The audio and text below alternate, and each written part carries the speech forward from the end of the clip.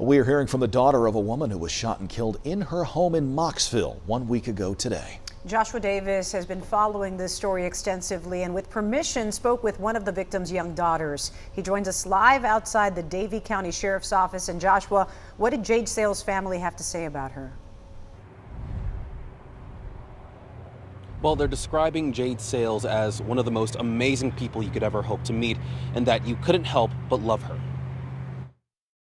She loved everyone the way that they were supposed to be loved.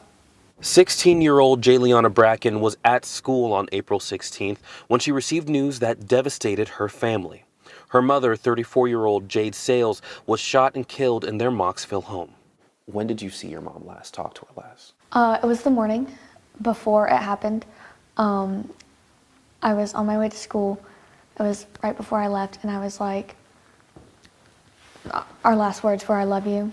And she said, I love you more. And that was the last morning I saw her. Just a month before her death, Jade had given birth.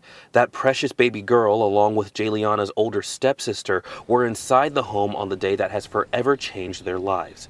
Jayliana says more than anything, Jade loved being a mom. She was so kind, so loving.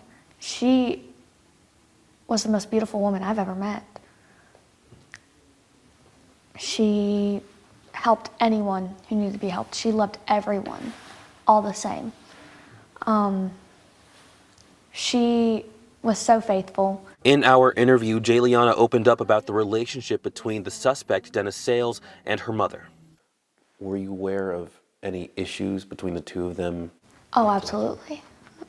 Um, they, my mom loved him, he loved her, I know that. But couples have their arguments. Although Jayliana says the tragedy is top of mind for all her family, they're honing in on ways to honor Jade's life and legacy. I think that with a little bit more of her love in the world, it could be an amazing place. A GoFundMe has been created for the family in the midst of this tragedy. We'll have a link to that on WXII12.com. In Davie County, I'm Joshua Davis for WXII 12 News.